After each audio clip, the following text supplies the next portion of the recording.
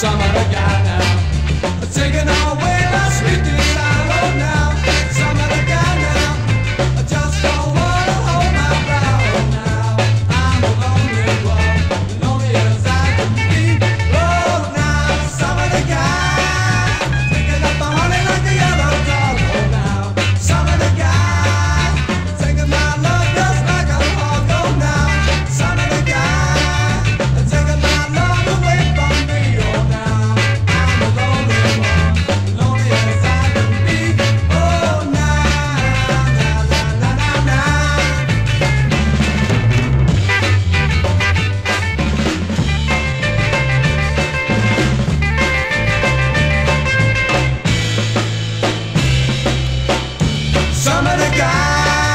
to make a big